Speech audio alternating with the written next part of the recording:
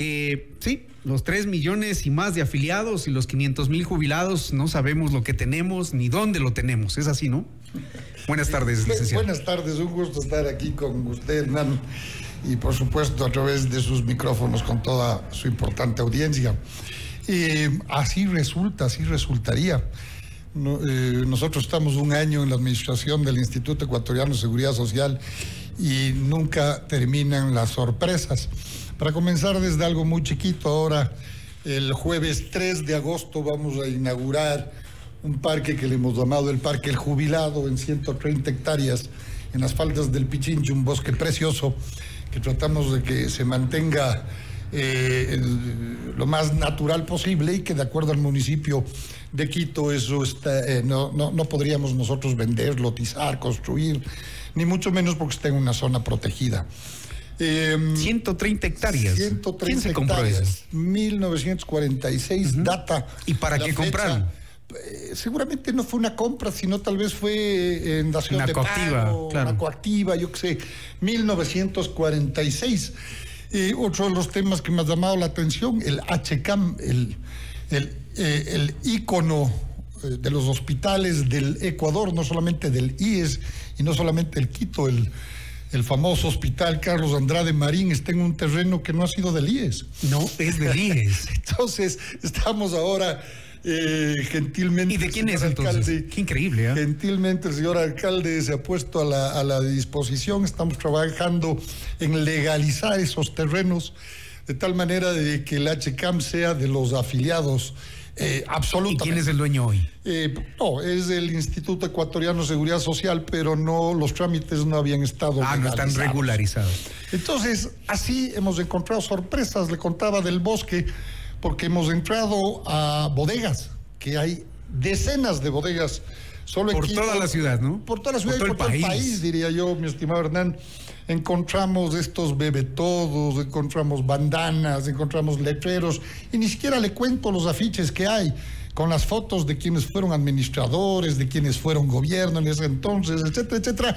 Entonces, Mire, no, me tiene que contar a mí, sino a los oyentes. Yo lo he visto y créame que me ha dado una indignación cómo se han feriado la plata de los asegurados. Es, increíble.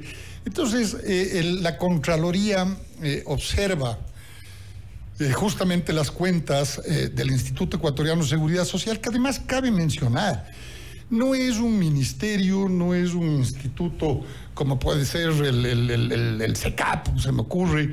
Es, es, un monstruo de más de 30 mil servidores del Instituto Ecuatoriano de Seguridad Social, 17 direcciones nacionales, cuatro fondos de seguros especializados, cuatro empresas, por, por graficar, cuatro empresas de, seguro, de, seguros, eh, salud, pensiones, riesgos de trabajo, eh, campesino.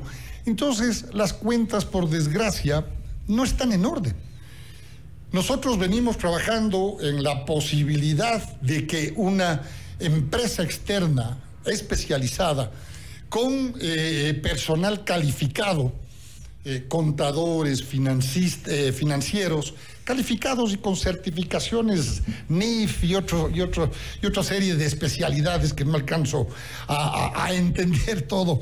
Desde septiembre del 2021, tomando en cuenta que nosotros estamos en la administración eh, actual desde agosto de 2021. Entonces, primero que no es un tema que nadie podíamos saber eh, y conocer lo que iba a pasar en la coyuntura política y que estemos próximos a salir el gobierno. Entonces no es una cosa hecha al apuro, es una cosa que se requiere, que se necesita y entiendo yo desde mi perspectiva y desde la perspectiva de los técnicos del IES que no existe y no existió la capacidad para poner en orden desde el año 2004 que nos observa la, Contraloría. Esa es, esa es la gran realidad. terrible. Esa es la gran desde realidad. Desde el 2004 no sabemos qué tenemos, desde dónde el 2004 no sabemos Y no se ha podido poner en orden. ¿Y qué no tenemos, Hernán? Tenemos todo, porque, y eso porque sí. Fíjese usted, hasta basura tenemos. Vea, le acabo de comentar bodegas, algo muy simple que pretendo graficar con esto, pero ¿quién se hace cargo de eso? Usted va donde el bodeguero, primero encontrar quién es el bodeguero dentro de todo este monstruo administrativo que es el IES, Vea, ¿cuál será el bodeguero del, del, San Juan o cuál será el bodeguero de no sé qué y el, y el no sé cuánto? Primero, eso es una labor titánica. Luego logramos que se abran las bodegas. Y vaya usted a conocer eso. No hay los inventarios de eso. Entonces, obviamente, ahí sí la limitación, porque si esto es que somos 30 mil servidores del Instituto Ecuatoriano de Seguridad Social, pero también hay que entender que el 75% es de salud y que una sola dirección financiera, la centralizada, digamos, eh, para graficar del IES, no se alcanza. Hoy puedo decir no se alcanza, porque tendría que dejar de hacer absolutamente todo lo que hace una institución, por ejemplo, roles de pago, eh, pagos a prestadores, pagos a, proveedores, etcétera, etcétera. Entonces tendríamos que contratar un ejército, más o menos la consultoría que usted me está averiguando, eh, si no me equivoco. 3.7 millones, ¿no? Eh, por 18 meses. Por, por 18 meses, pero el personal que requiere esa consultoría eh, si no me equivoco, es algo menos de 70 personas, entre contadores y financieros, con las certificaciones que le acabo de mencionar. A ver, pero. Para que se dediquen, dediquen exclusivamente 18 pero meses es que, es que, a descubrir que hay. Es que no es concebible, licenciado Salgado, que dentro del IES no existan los funcionarios técnicos capacitados que no hayan sido capaces de poner en orden los registros de lo que tiene el IES. no hay. Le agradezco en el alma que haya puesto en pasado. Y es la verdad. No existe esa capacidad. ¿No hay personal certificado? no hay personal certificado y sobre todo no hay personal que se pueda dedicar exclusivamente a levantar ¿Pero qué hacen tantos funcionarios? Será lo que se pregunta nuestra audiencia hoy. 30 mil solamente. El 70% de salud. ¿Y los demás? El 5% de salud. Pero, pero fíjese, ¿qué hace el personal? El día a día pagar proveedores, la relación con las, con las inversiones que tiene el IES en el BIES, de acuerdo al mandato, al mandato legal. Hablo del financiero exclusivamente, ¿no es cierto? La contabilidad diaria, el día a día, la contabilidad diaria del Instituto Ecuatoriano de Seguridad Social. Cuatro empresas aseguradoras, les pongo como, como empresas para graficar, son cuatro fondos de seguros especializados, más el resto del IES, que son 17 direcciones nacionales. Entonces, con el personal que tenemos, eh, logramos el día a día. Pero repito, esto es una herencia. Esto, esto la, la, nos observa desde el 2004. ¿Y por, qué, ¿Y por qué quieren firmarlo o dejarlo firmando ustedes? ¿Cuál sería la justificación si ya, como usted acaba de decir, ya están de salida? ¿Por qué no dejarlo para que se ejecute? Yo, le agradezco también esa pregunta porque me permite aclarar. Nosotros desde el año pasado, desde que nos sentamos, conocimos que las cuentas del IES no estaban en orden y el primer proceso que nosotros intentamos sacar fue en noviembre del año pasado. Luego tuvimos un segundo proceso que fue en enero o febrero de este año. Entonces, como hemos seguido en el tema, como no, y ojo, iniciamos el proceso antes de conocer que iba a haber la muerte cruzada, que se acababa el gobierno y que íbamos a vivir esta coyuntura que nadie conocía, que nadie sabía. Entonces, nosotros tenemos eh, un, presupuesto aprobado hasta diciembre 31 de 2023. Que se acabe el gobierno, no se acabe el gobierno, nosotros tenemos que gestionar. Nosotros somos culpables tanto por omisión como acción, ¿no es cierto? Entonces, no es que queremos firmar al apuro ni mucho menos, sino que esto viene siendo programado desde el año pasado, como le digo, septiembre, exactamente septiembre de 2022 sin conocer la coyuntura. Ahora, justamente porque entendemos que las consultorías pueden ser polémicas, pero no son ilegales. Si nosotros manejamos procesos transparentes como hemos pretendido, eso es algo que nos, que nos enorgullecemos. No tenemos escándalos de corrupción. El tema es, afortunadamente, el tema en el IES de lo que se sabe, pero de ahí, digamos, grandes escándalos no hay, pero estábamos internamente... Estábamos acostumbrados a tener escándalos de medicinas. Entonces, si es que nosotros tenemos el criterio de que las consultorías pueden ser un foco de, de, corrupción, mire, conocemos en época de pandemia que una mascarilla que costaba 30 centavos en la vereda, el IES, en 3 en 4 dólares. El IES compró en 13, 15 y 16 dólares cada una. No compremos medicinas. A eso iba mi siguiente pregunta. 3 millones, 3.7 millones más IVA es el contrato. No, no, no, no, no. A ver, todavía no estamos Es en el ningún- proceso en de- ningún contrato. Ahora De oferta de, las, de, lo- de los costos Claro, de esto. estudio mercado para poner en orden las cuentas exacto. Hay, hay eh, un medio de comunicación ya habla de que hemos firmado un contrato de 4 millones 700 mil. Eso es falso. Están en el proceso. Eso no es verdad. Recién el proceso eh, culmina, si no me equivoco, el 7 de agosto y por Dios no me tomen literal mi memoria y peor a estas horas ya me falla. Entonces, pero el 7 de agosto sería la entrega de propuestas y de ahí recién comienza el proceso y ojalá, como le digo, porque hemos puesto varas muy altas exigiendo que las empresas tengan experiencia, exigiendo que las empresas puedan exhibir la experiencia además de quienes van o trabajarían en esto. Ahora, eh, hay que chequear bien esa, esa contratación porque hay términos de referencia que establecen especificaciones que para la duda de este país podrían estar dirigiéndose hacia algún lado, ¿no? Por ejemplo, están pidiendo certificación NIF de 120 horas. Exacto. ¿Y eso no hay en el IES?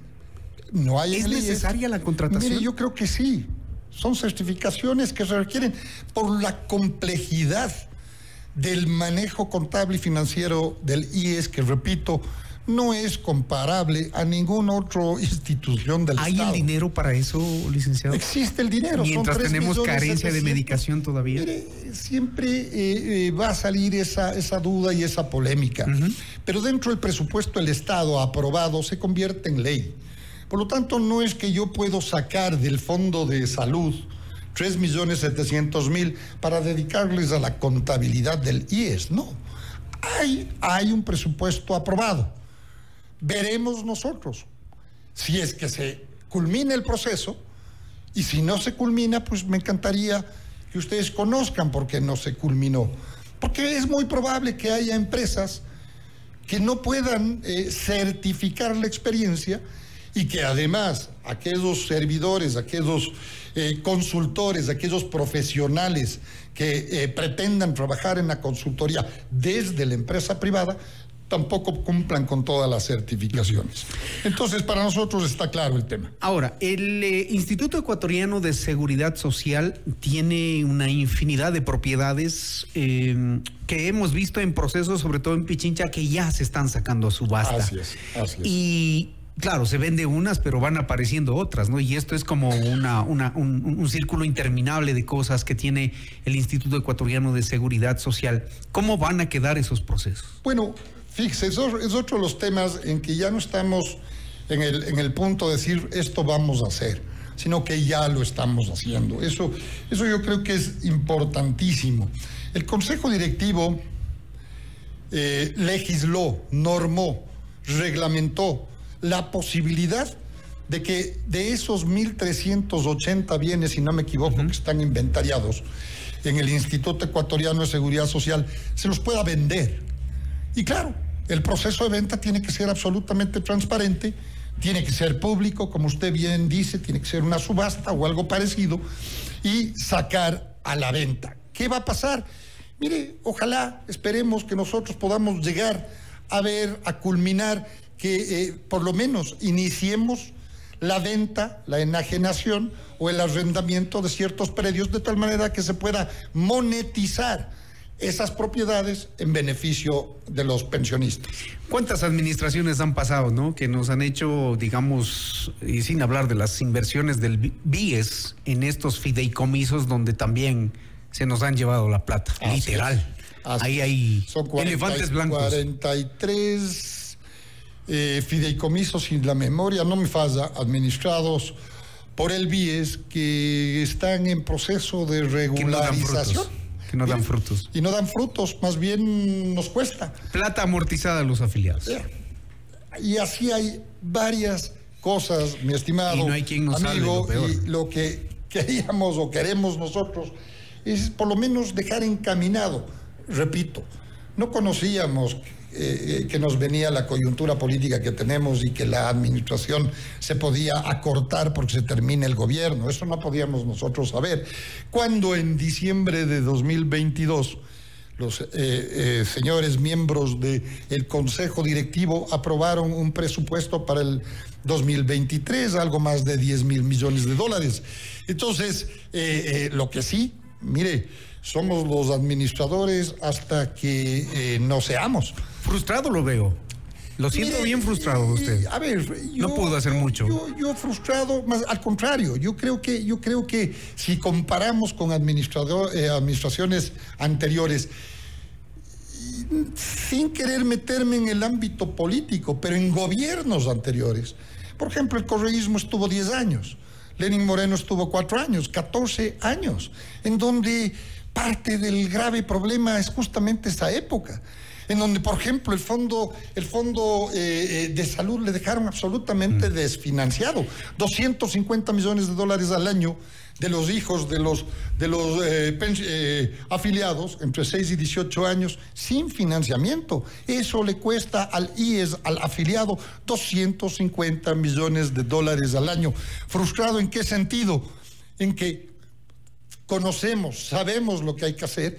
Muchas cosas, muchas cosas las estamos haciendo, pero claro, Ojalá las, las administraciones futuras no vengan también a revolver lo que o a, solo, mirar lo que ya sabemos, ¿no? Ahí hay edificios de estos fideicomisos tras de la caja del IES, oficinas botadas, que supuestamente iban a ser un ícono de la ciudad de Quito, así lo decía eh, el señor Fernando Cordero cuando era director del Consejo Superior del IES, con Augusto Barrera como alcalde, y ahí está. Ustedes pasan y ese es un monumento a la vergüenza, igual aquí en la Colón y 10 de agosto, esos fideicomisos en Esmeraldas, en Tonsupa, y así una lista interminable. tiene absolutamente toda la razón. ¿Qué pasa desde la segunda semana de agosto del 2023 con los aportes que realicen los afiliados voluntarios que están por jubilarse en el IES? Hay una decisión del Consejo Superior. Sí, pero, pero cabe mencionar que ya a, las, a todas las personas eh, que están por jubilarse, esta decisión que vale la pena mencionar fue de la Corte Constitucional, acogida por el Consejo Directivo, por fin además. Después de dos años, ¿no? Sí, porque fue en el 2021. Así es. 28 de abril 2021, y quiero ser literal y por eso me permito leer, es eh, eh, lo que se ha legislado, se ha normado también dentro del Consejo Directivo, es justamente esa declaratoria de inconstitucionalidad para controlar esos aportes atípicos. Porque había gente que en los últimos años, como, como está eh, eh, diseñado el sistema de, seguridad social y a, través de la ley además y otras normas permiten que tu pensión sea calculada sobre los mejores cinco años eh, de sueldo, ¿no es cierto? Entonces, claro, hay gente o había gente que, que los últimos años se afiliaba sobre todo los independientes, esto es quienes facturan, quienes tienen su RUC, en fin, son sus propios jefes eh, o, empresarios pequeños, y eh, eh, entendiendo esto empezaban a aportar con unas, declarando unos ingresos superiores que les permita también poder llegar a tener pensiones muy, muy importantes, distorsionando el sistema que la ley permitía, que la norma permitía con eh, la declaratoria de inconstitucional, inconstitucionalidad se controla estos aportes atípicos y para ser exacto, si usted me permite. Claro, las bases. para todos los afiliados voluntarios que estén a cinco años de cumplir con el requisito de jubilación. Por eso digo yo, hay seguramente personas que optarán por la jubilación este año, seguramente el próximo año, y de aquí pueden ser tres o cuatro años, no se les topa, no se les topa. Solamente los afiliados voluntarios que estén a cinco años de cumplir con el requisito de jubilación y quieran hacer un cambio de base de aporte o un nuevo aviso de entrada, solo podrán hacerlo en los siguientes rangos. Hasta 14 años de aportes que estén a cinco años de jubilarse solo podrán aumentar la base de aporte en hasta 300% el salario básico unificado, es decir, no podrán aportar son sobre un ingreso superior de 1.350 dólares al mes. Con 15 a 29 años de aportación que estén a cinco años de jubilarse, la base del aporte podrá ser hasta el 450%. Esto es de... Eh, eh, los ingresos reportados al IES no podrán superar los 2.025 dólares al mes. Y para aquellos con 30 años más, año, 30 años o más de aportación, que estén a 5 años de jubilarse, los ingresos no podrán superar el 600% de un salario básico a los 2000, eh, esto es a los 2.700 dólares al, al mes. Entonces el Consejo Directivo acoge eh, la inconstitucional, inconstitucionalidad resuelta por la Corte Constitucional en sentencia del 26 de abril de 2021. Mire, una, un aspecto más eh, que denota las ganas de dejar en orden al Instituto Ecuatoriano de Seguridad Social. Porque todo esto. Y en los beneficios no, no se corta nada, ¿no? No, no se corta absolutamente nada. en los beneficios. Siguen siendo los mismos. Según el IES, las personas que deciden afiliarse de manera voluntaria dentro del país tienen acceso a varios beneficios que dispone la institución, entre ellos la pensión jubilar, el auxilio de funerales, la cobertura médica por enfermedad y maternidad cobertura para los hijos menores de 18 años, menores, de 18, años. La ampliación de cobertura de salud para cónyuge y los préstamos hipotecarios. Mientras los voluntarios. quirografarios, prendarios del BIES. Mientras los voluntarios en el exterior tienen derecho a recibir atención en salud y pensión jubilar. Me llamó la atención un dato que dice que de los. ¿Cuántos eh, afiliados voluntarios hay? 21 mil Sí, no, 217 mil afiliados voluntarios. Pero entre voluntarios e independientes son más o menos el 5% el total de afiliados al Instituto Ecuatoriano de Seguridad Social. 19 mil 189 personas migrantes. Así es, así es.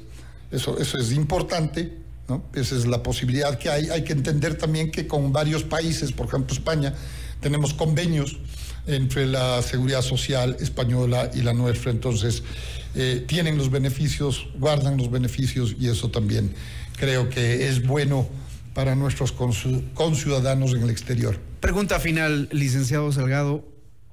El futuro del IES, lo que nos preocupa a todos los afiliados, con todo lo que tenemos, con todo ese desorden, ese caos, eh, las propiedades abandonadas, tomadas por personas de calle, invadidas. Hay gente que vive en barrios de Quito que no le han pagado al IES.